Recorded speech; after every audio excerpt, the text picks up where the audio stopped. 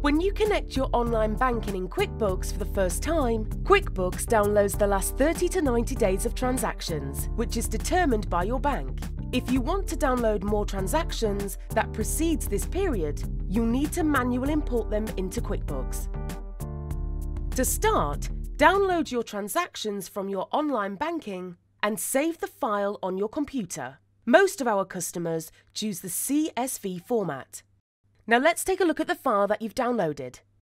There are three mandatory fields needed to import successfully into QuickBooks. Date, description and amount. Some banks like to split out money in and money out into separate columns, which works for QuickBooks as well. Here are a few tips on how to make sure your CSV file is ready to import. First, make sure that there aren't any blank fields in these three columns.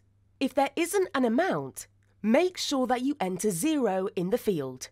Next, remove all the symbols that are in the file. If your amounts are in one column, make sure you depict money out with a minus sign rather than using brackets. Lastly, remove all other non-transactional amount like your account details, opening and closing balance. Once you're done, make sure you save your changes. Back in QuickBooks, go to the banking page, then select File Upload. Some of you may find the option in the drop-down menu. On the Upload File page, click on Browse to select the CSV file you saved earlier, then click on Next. On this page, select the QuickBooks account that you want to upload the transactions to. Now, you need to map the transaction data in your CSV file to the fields in QuickBooks most of these will be automatically mapped. Make sure to select the date format found in your CSV file, which should be day day, month month, year year year year for most UK banks.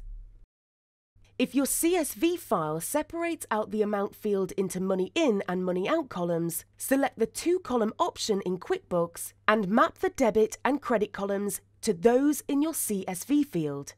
Debit field in QuickBooks means money out, and credit column means money in. Once you have mapped all the fields in your CSV file to QuickBooks, click on Next to review the transactions.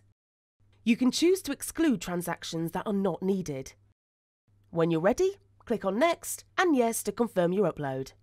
That's it. You have now successfully updated your transactions to QuickBooks. If you have more questions about importing transactions, please go to our support site for more information.